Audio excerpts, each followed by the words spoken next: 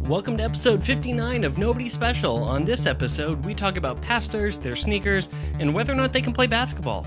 The Gospel Outpost presents Nobody Special.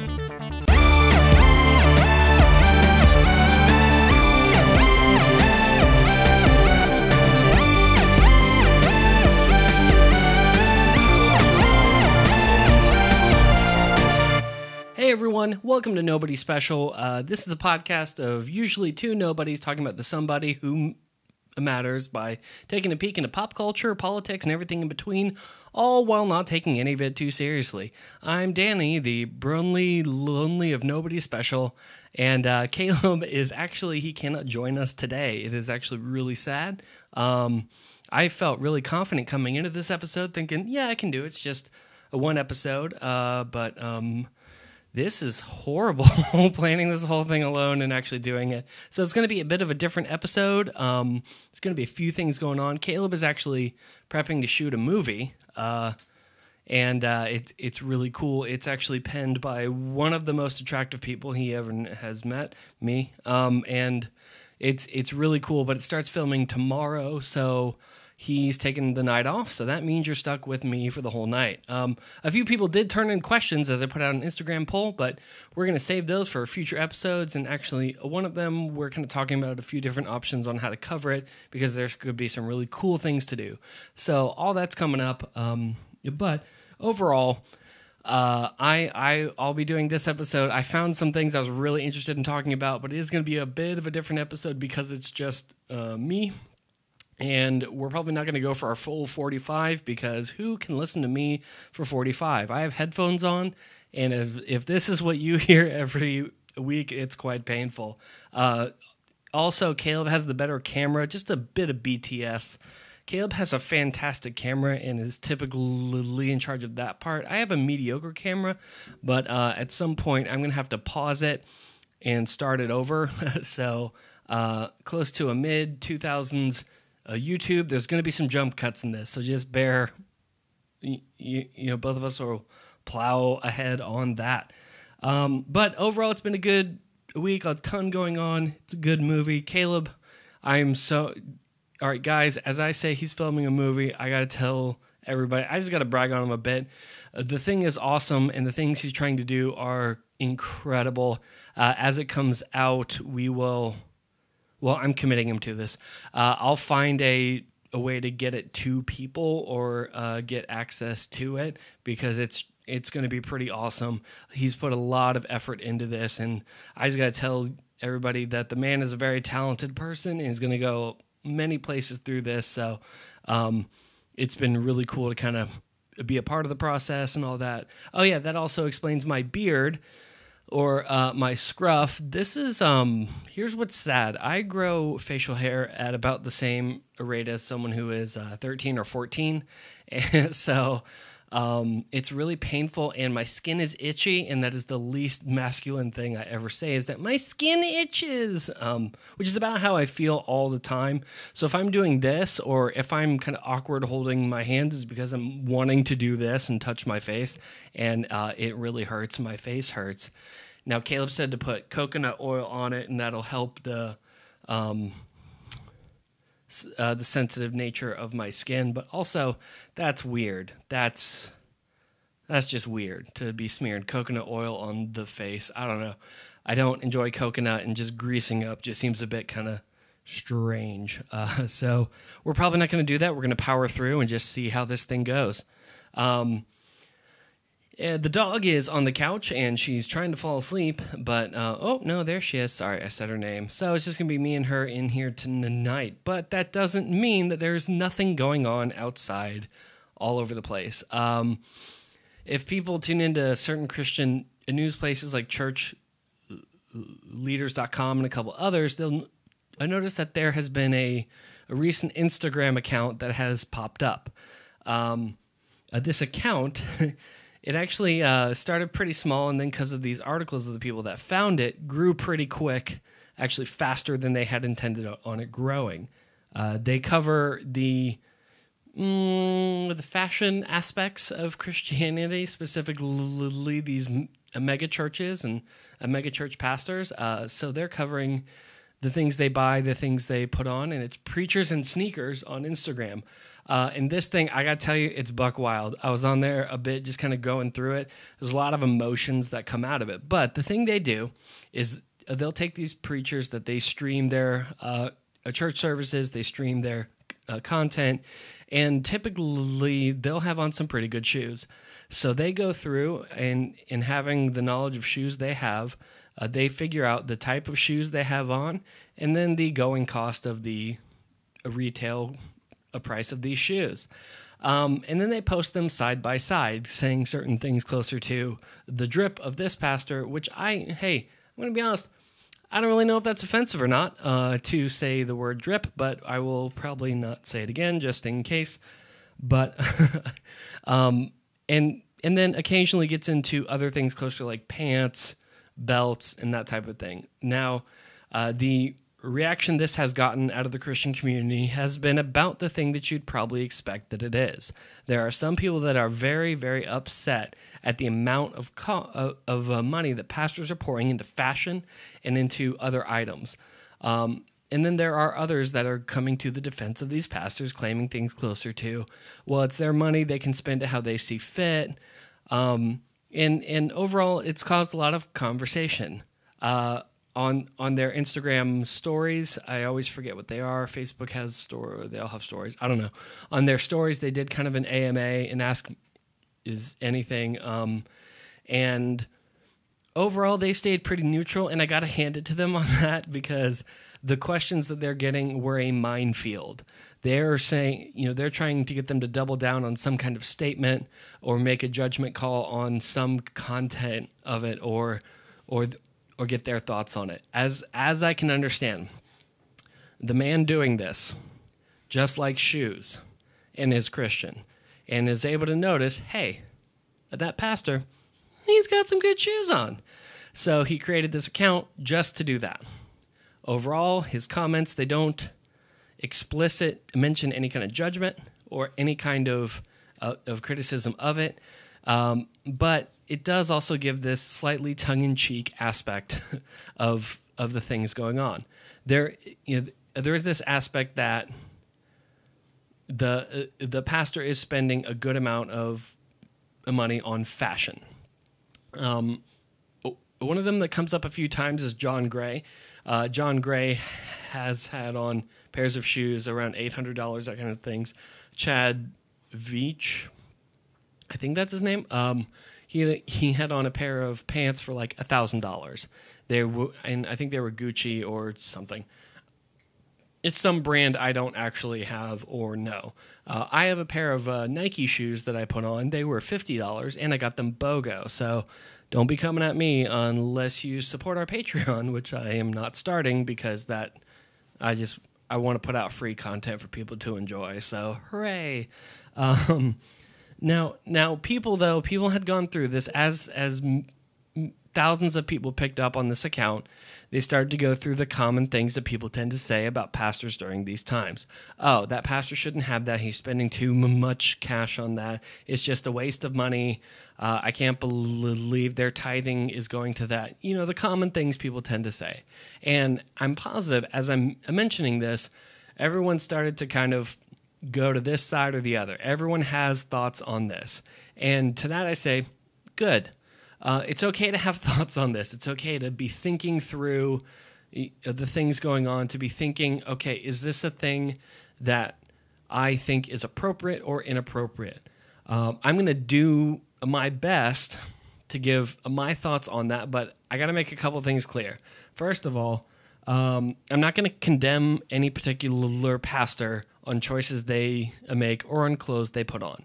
Overall, I think that's a really bad standard.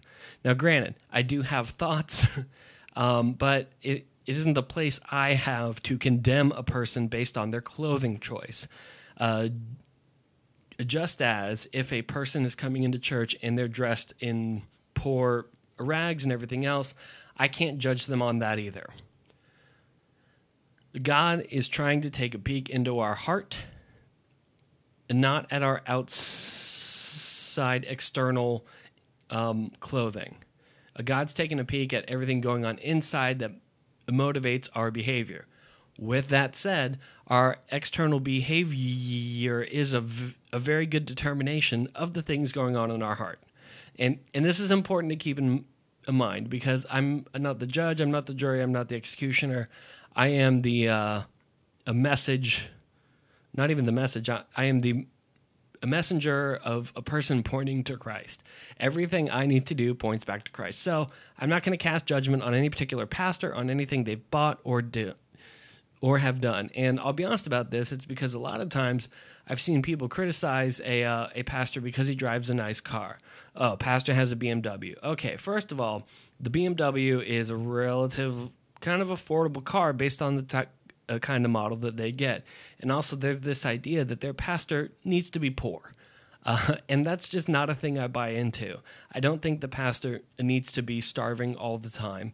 Um, with that said, there is this amount of personal responsibility the pastor has to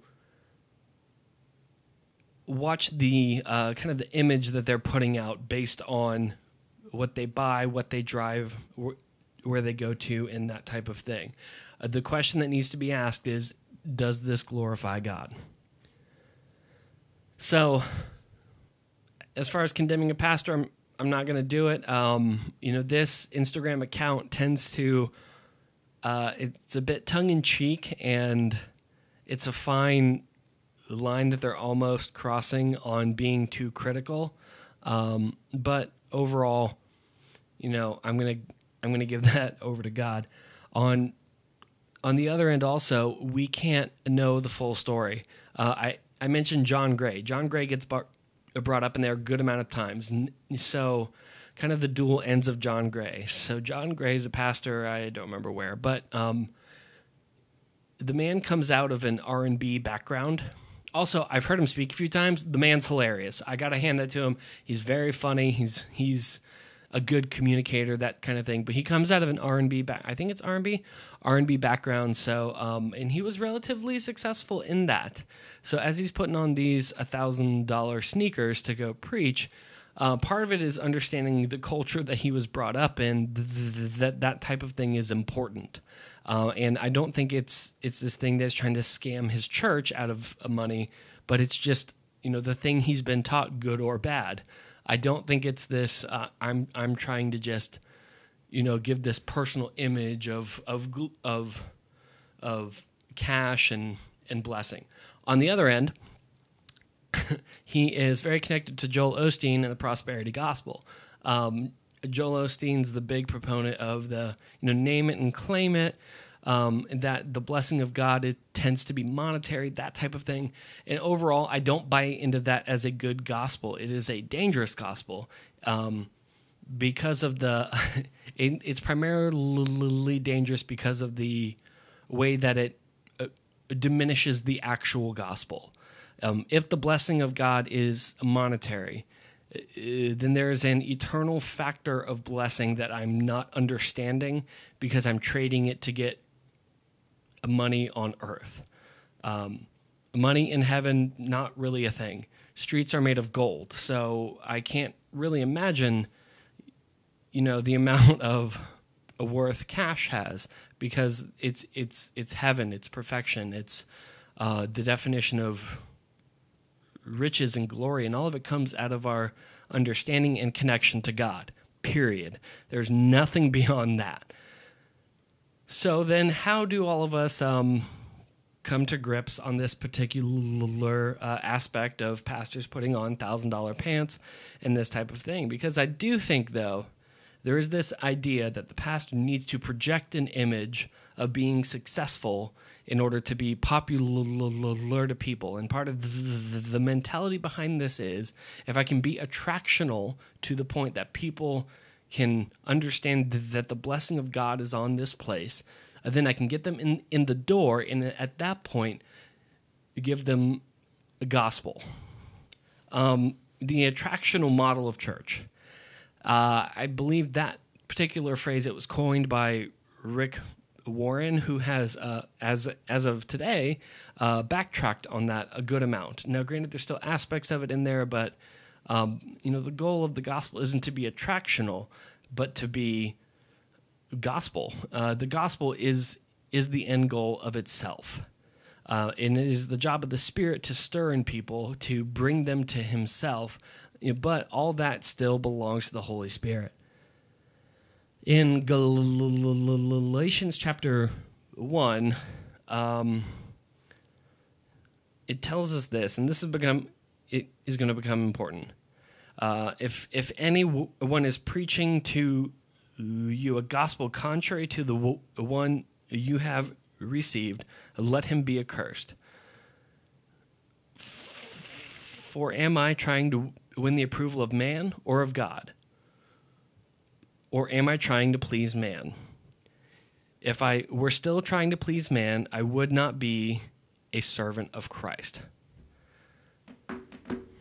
So, the question to ask in all of this is who are we trying to impress? Because a, lo- a, a, good amount of these things, I'm, these are major purchases to me. I mean, to me, they're major purchases. To them, it might not be. I don't know. I'm not sure about their book deals or everything else going on, but that's a major purchase. An $800 pair of shoes is a major purchase, all to be able to get up on stage and essentially flex. Um, it's it's an it's a weird flex, but okay, for a pastor to get up there and and to demonstrate to the uh, congregation the amount of wealth that he has. So the question I ask in these cases is, who are we trying to impress? and what message is being given in this context. Is uh, this a message that people are are coming closer to a true and authentic understanding of Christ out of this, or is it just this kind of backdoor brag under the holy hat of praise Jesus question mark? And and that's kind of the the question that I have that is typically speaking uh, figured out in their um, in their preaching and in their theology. You know, as as far as their preaching goes what message is being proclaimed. Uh, and and this is a thing that that is is is difficult to determine because flashy things are flashy, and attractive things tend to be um, viewed as as better than non-flashy things, and and that's just an odd odd fact that attractive things are viewed as better than unattractive things.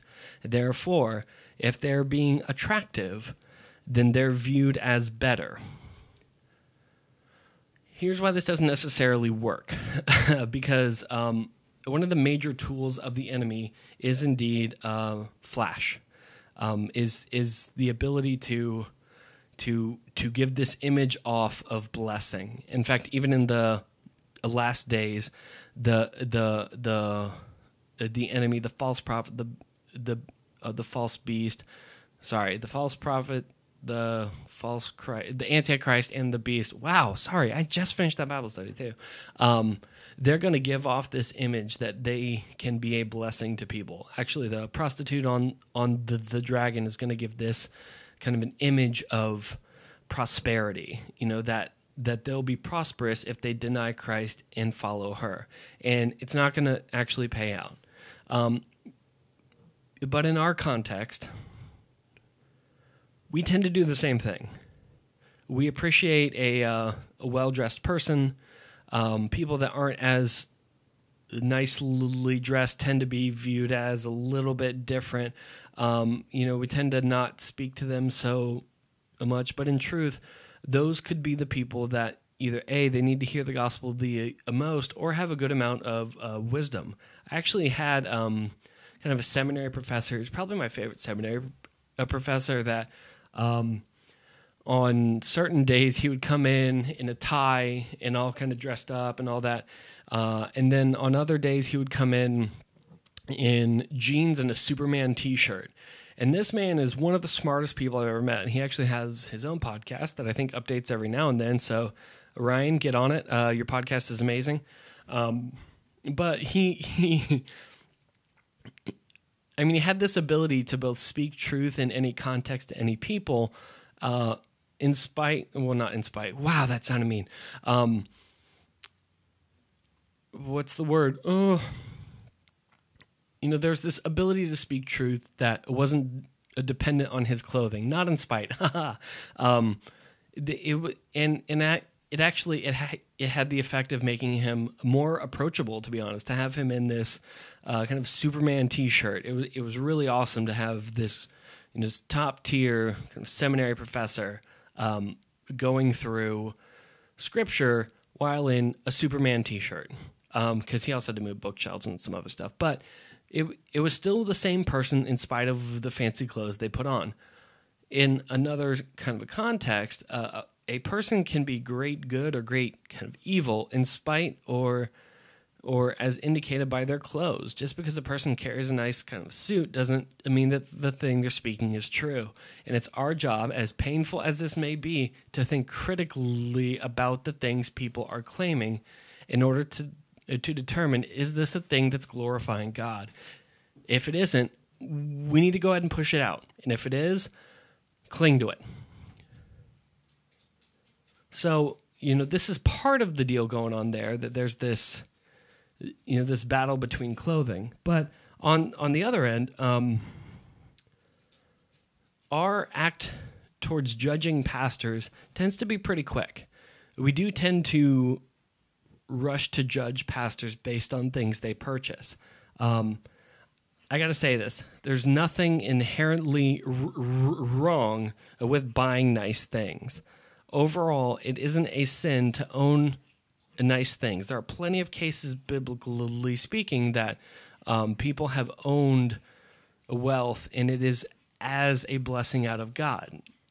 And now, the difference is they weren't trying to procure monetary gain as blessing, but God did bless them in a financial sense because that can be a blessing of God. It's not the ultimate blessing of God, but it is a blessing of God. So, if a pastor is being blessed by God in a monetary sense, we have to understand that that could be okay. I do think a few of the comments in there, they do tend to bring out the jealousy in people. Uh, they they're jealous that the you know this a person who has worked hard, hopefully, um, you know that they own nice things. Now, granted, to be honest, I think these purchases are stupid and um, probably not in the best interest of the pastor, the congregation, or anybody else in there to spend that much and flash it. Uh, it's it's it's a thing that because pastors understand they're under more scrutiny than other people that you know I got to be honest I don't even disagree on but understanding that they're under more scrutiny they have to be careful of the things they do and the image they put out if they're putting on the, this image that they take their uh, or or that there's enough of a paycheck to buy thousand dollar pants and and have that kind of expenditure and it's a a, a normal expenditure then you know that you know, you know to an extent they have to understand that that's the congregation's tithe money. Um, but that doesn't give the congregation permission to be jealous. You know uh, maybe that pastor it has put a a, a good amount of, of money aside every time has been intentional about you know not buying other things. It's it's it's it's a thing that they wanted to do and that's fine. Um, you know specific kind of the car thing. I know people pick on pastors all the time because of the car they drive um, i know i've i've i've brought up the pastor that bought a fourth jet and there are i'm okay calling that out every case of a pastor buying a nice thing, though, I'm not okay on that. And it's important in our hearts to have there not be jealousy, but instead, if there is anger, to be positive, it's righteous. Um, and and that if if I'm trying to do other things, you know, if I'm buying fancier clothes, or if I think that particular tie or pants or jacket is going to give me status and then i'm trying to find things in clothes that i need to be finding in god. And and it's easy to criticize pastors but that's the thing all of us struggle through also is trying to find status in anything other than god. Um, being a, a, youth pastor and even still kind of connecting to a few teens uh, that culture is very prominent in middle and high school. This idea of I have to have the good shoes, the non-scuffed shoes. Uh, it has to be a Gucci, and and even in a lot, a ton of the circles I'm still in, the image of success is more important than actual success, and that's madness um, because I have to put out this image in order to be accepted, in order to do business, in order to be successful. And that's insane. And I want to call that out as insane because it's insane. If I'm trying to find my worth in anything other than Christ or uh, paint an image in anything other than Christ, then frankly, I don't understand th- the fullness of the gospel. Our worth can only come from God. It doesn't matter if I'm in good clothing or bad clothing. At my core, I am defined by God and who He is instead of by the clothes I put on or the things I do. So, vanity is an idol, and idolatry is anything that takes the the place that God should have. And and this isn't just a thing people that are trying to find nice clothing uh, struggle through. All of us struggle through that. It's important to like stop and take a a moment and and and be honest about the parts that we feel are um are are are our own idols. And and besides it could be a, a could be a lot worse than just a pastor buying a nice pair of shoes.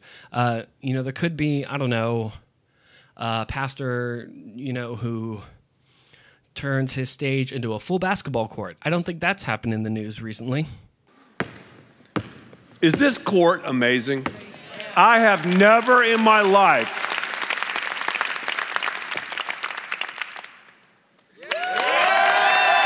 in my life seen a basketball court like this in church. I don't think it's ever been done in the history of Christianity. Okay, so Pastor Ed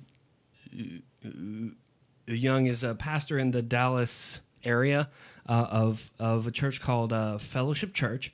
Um, it's it's in Dallas area. He is also kind of a frequent speaker at Creative Church conferences. I I think that's a C three conference or something like that. Um, and he over the course of March took his church stage and put down an entire basketball uh, field for kind of a sermon series he called March Madness. Um, I I know sports good. I understand March Madness is a college basketball thing because it's all the top teams trying to figure out who, who the number one team is. To be honest, the num the that game might be going on now. I really don't know. I'm so bad at this, and I'm so sorry. I know everybody's bracket is busted and nothing makes sense anymore. But that hey, that's how I live every day. So whatever. Um, but he. Uh, um, he he he turned his basketball court into sorry he turned his church into a basketball court, uh, claiming that uh, no church in in Christian history has ever done this ever. Which I mean, there might be a reason for that. I don't know. Um, so, oh, oh yeah. Another thing about him is, and and why this is kind of making sense is, um, Pastor Young uh, at a point had been on a basketball team for Florida State, and as every, as everybody knows, I am a graduate of the University of Florida. So, allow me to take a minute to talk to a few of my Florida State fans. Um, we joke that Florida State is a clown college, ha ha ha, but then always follow that up by saying they have a ridiculously amazing um, kind of a it's kind of a circus program because it's you know trapeze that kind of stuff. It's amazing. So anytime that that's brought up we kind of pause and say like no but seriously though if that's a thing that you're into they have a really good program some people have gone on to Cirque du Soleil and that kind of stuff and they it's really it it's a it's a good program. But um so that is is a rivalry there that I'll try and uh, uh, keep internal. But overall um the man spent two years on a basketball team, and then uh, after that, he felt as if God had been calling him to be a pastor. So instead of staying on this team, um, he dropped out, dropped out of a full college scholarship, uh, to go back home and start his training to become a pastor. He attended school there. He eventually got his MDiv out of Southwestern Theological Seminary, I think, um, something close to that, and and has planted this church and and grown it, and it's a fairly successful big church that has about uh, I think I counted like nine campuses all across the country. So, um, you know, the idea of of doing a basketball themed thing, um,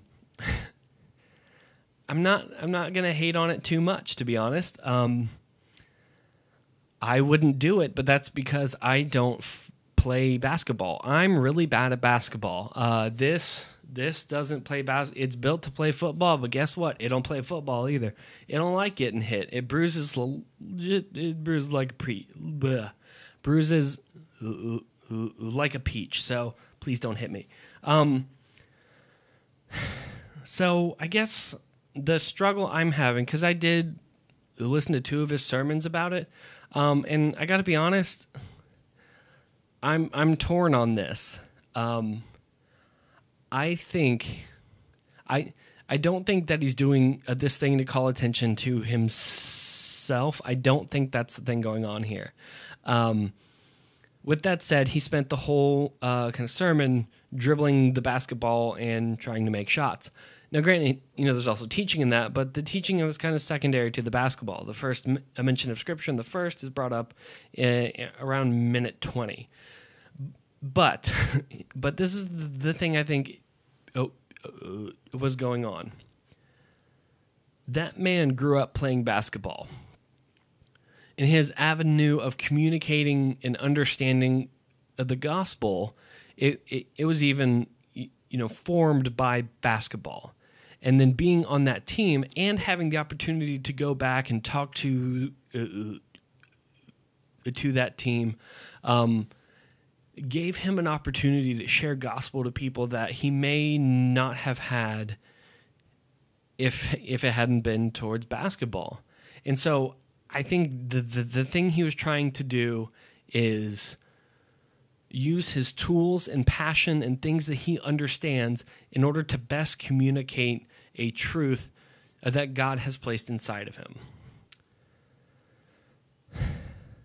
I, I don't know. I'm I'm going to be honest. I'm really torn on this, um, and not just because I'm calling him out by name. I I do think that this is good intentioned. Uh, again, I wouldn't do this. Basketball courts are expensive, and it's it's a, a good amount of flash that I don't think the, the gospel necessarily needs. Um, we don't have to make the gospel flashy or try and tart it up. And I'm not just talking to pastors on this, I'm talking to everybody. If I, I need to include tip or sorry, tricks and and polish, I don't need to polish uh, the gospel because it is perfect in itself. Um, I don't I need to tart it up or put makeup on it or turn it into this thing that it isn't or give people the idea that if they come to Christ, it's all all going to be this massive spectacle of confetti and and bright shining lights and fun. Uh, the gospel at its core is that I am a sinner and Christ came to die for my sins so that I could go into eternity. If I can't find a way to make that relevant to a person without having to add flash and flare, I don't think I really understand that. If the offer is eternal life, what can I add to that that makes it more attractive? And that's the problem I have on a good amount of these gimmicks and even the flexing of of the shoes is that it turns church and Christianity into a gimmick instead of into this gospel a gospel gift that comes out of God. And the question is, am I trying to call attention to me and, and the things I'm doing, or am I trying to call attention to God? Um, in Matthew 5, was it Matthew 5? Oh, yeah. In Matthew 5, the Matthew 5, it tells us that you are the light of the world. and a city on a hill cannot be hidden. Nor do people light a lamp and put it under a basket, but on a stand, and it gives light to all in the house. In the same way, let your light shine before others, so that they may see your good works and give glory to your Father who is in heaven. And this, I think, is a big determining factor: is who gets the glory. Am I doing things in order to give me glory, to make my name great, so that people talk about the thing I did in a, spe- in a specific thing, or am I trying to do to do these things to allow the light of Christ that is inside to come out in order that people could give God glory? I um the, and I think this is a struggle all of us face. I know I face this all the time. Uh, I enjoy credit, you know, for good things. Just to be fully honest and transparent, I enjoy getting uh, complimented. I I enjoy that type of encouragement. I need that kind of encouragement. Um, but also, there is an extent that if I do a good thing, I I want people to say, "Wow, that Danny's so neat. He did a good thing. Good for him." Uh, and and and that isn't always healthy thing to uh, strive towards. It's not a thing all of us need to be trying to find. Is this approval out of man? Um, all I do needs to be to give God glory because it's God that does all things and produces the salvation inside uh, that is able to save others. I have very little to do with any of that process. Um, was it G.K. Chesterton or Jonathan Edwards? I think it was Chesterton. I don't know. But one of them said, The only thing I contributed to my salvation is the sin that made it necessary. Um, which is a really biting statement. But um, if I'm trying to communicate the gospel to people, and call attention to anything I've done, the thing I need to call attention to is is the sin that God has overcome, and and to not even get bogged down in that because that's the old me. It's not the new me. That eh, as Christ comes in, as the Holy Spirit comes in, I'm created anew and and made to communicate the gospel out of the goodness and glory of God.